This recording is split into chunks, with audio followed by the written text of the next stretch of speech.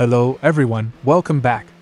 Recently, we had a significant update on NetherSX 2, the PlayStation 2 emulator for Android. According to the developer, this update brought improvements of up to 600% in some games, along with fixes for various bugs. Let's follow along and test these improvements to see how much we can maximize this application in this video. Before diving into the details, let's give a quick introduction for those who are not yet familiar with NetherSX 2. Initially, the first functional project to play PlayStation 2 on Android was AetherSX2. However, the community around this project became toxic, reaching the point of threatening the creator and his family. Criticisms mainly focused on the lack of support for 32 bit devices, without considering the fact that developers of such applications work without compensation, dedicating their free time to emulation preservation. As a result, the main developer abruptly abandoned the project, leaving the Discord community and not sharing the code with anyone. However, other developers in the scene created patches to update AetherSX2. Since they didn't have the original source code, these modifications became known as NetherSX2. However, as modifying closed code is considered unethical, they provide the patches so that users can compile their own AetherSX2 into NetherSX2. It's worth noting that this is not an easy task and requires advanced knowledge, but I'll leave the link to the project already compiled in the description to make it easier for everyone to access. Initially, version 1.7 of NetherSX2 still didn't surpass the latest version of AetherSX2, which was version 1.5. However, with the improvements brought by version 1.8, I can confirm to you that it is highly recommended to update your emulator for better performance. In addition to keeping version 1.8 updated with PCSX2 improvements, there were also significant bug fixes. I highlight some of the main ones. Shadows in the game Area 51 are now rendered correctly,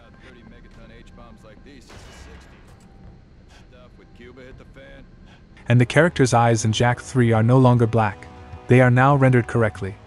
However, in my initial tests, Jak 3 still had some issues, such as artifacts in the character's shadows and slight slowdown when running the game.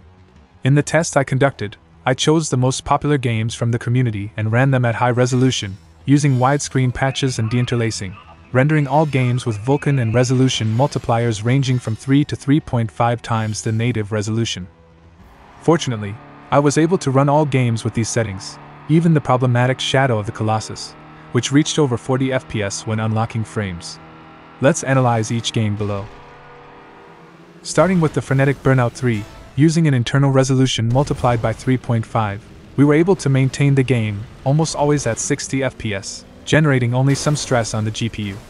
The CPU has a low workload, and the device temperature remains stable.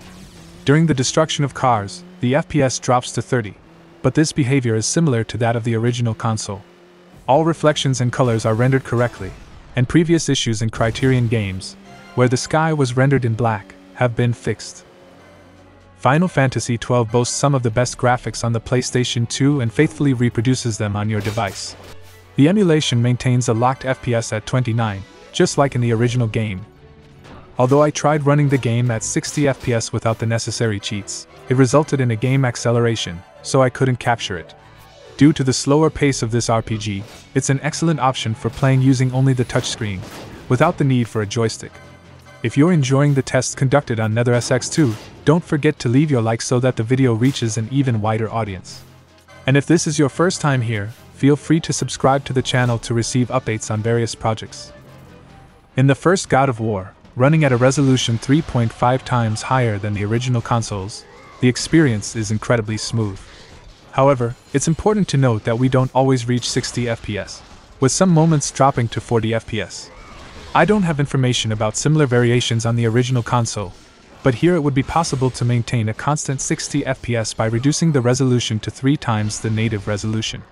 For this resolution, our device's GPU wasn't sufficient.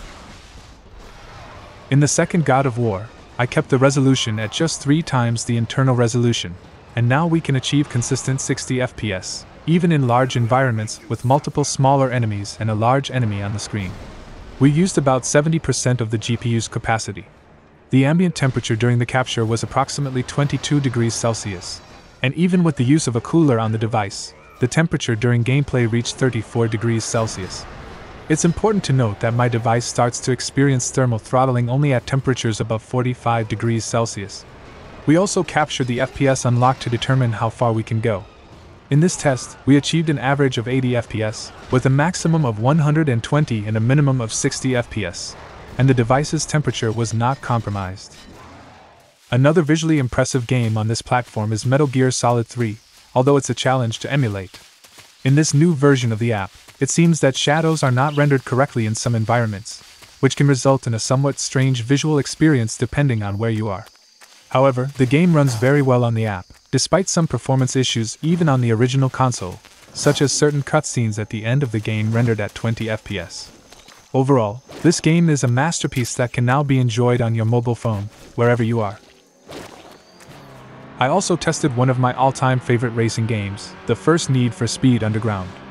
This game has its FPS locked at 30 in its PlayStation 2 version but offers smooth gameplay, without any graphical issues and without demanding much from the device's hardware. In the same franchise, we have Underground 2, which demands more from the device, as we are no longer limited to tracks in small areas of the city but rather the entire city to explore. The game runs natively at 30 FPS, and Nether SX2 manages to maintain consistent performance all the time, without you missing any detail.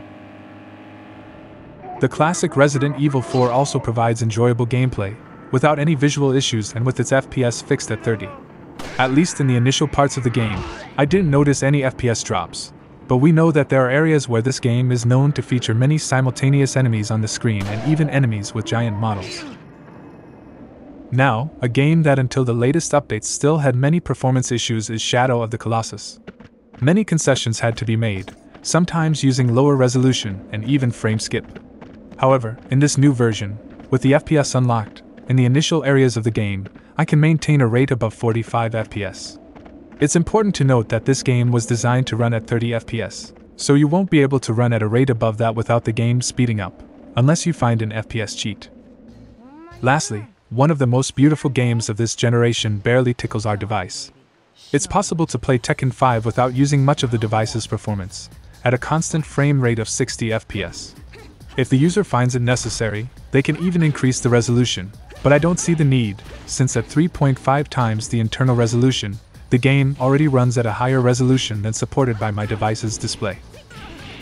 I hope you enjoyed the video, and until next time.